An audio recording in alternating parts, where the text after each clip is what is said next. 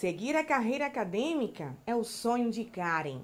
Desde pequena, ela sempre gostou de estar assim, entre os livros. E agora que acabou de apresentar seu trabalho de conclusão do curso de jornalismo, não sabe se vai conseguir transformar o sonho em realidade.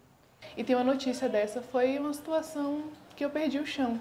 Eu tinha a intenção de já começar meu projeto agora. Eu ia descansar um pouquinho depois do TCC e já começar o projeto para dar entrada no, nas, nos próximos editais. E eu não sei, não sei nem se eu vou, vou efetivamente fazer isso, porque sem as bolsas eu sei que eu não tenho condição de pesquisar. O CAPES Coordenação de Aperfeiçoamento de Pessoal de Nível Superior, ligado ao Ministério da Educação, o MEC, anunciou a suspensão de concessão de bolsas de mestrado e doutorado em todo o país. O congelamento das bolsas aconteceu neste mês de maio. A suspensão impede que novos candidatos recebam bolsas já liberadas e previstas com verba para 2019.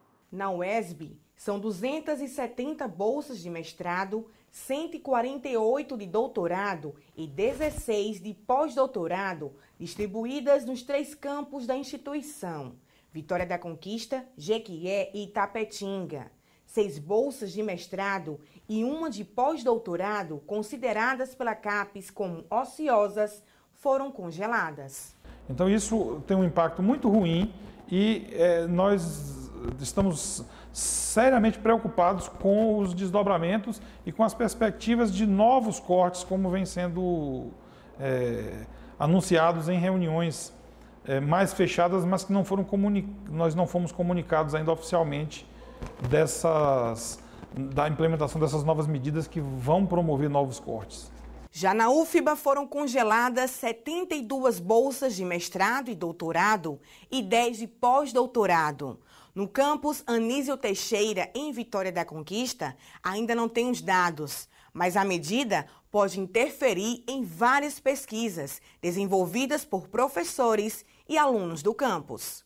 Então, nós temos várias pesquisas que, inclusive, são conduzidas aqui no, no campus que podem vir a ser afetadas por isso. Não tem como a gente é, desenvolver e ter resultado de trabalho sem, é, sem ter né, a, a mão de obra que não é muito bem uma mão de obra. Como é o caso dessa bióloga. Ela faz parte do programa de mestrado de Biociências da UFBA desde janeiro e trabalha com uma proteína com ação antitumoral. Para realizar os estudos, a estudante precisa viajar para outros estados, mas ainda não sabe se vai receber a bolsa. Boa parte da minha, do meu trabalho ele vai ser desenvolvido em outra instituição, em outro estado, na Universidade Federal de Uberlândia.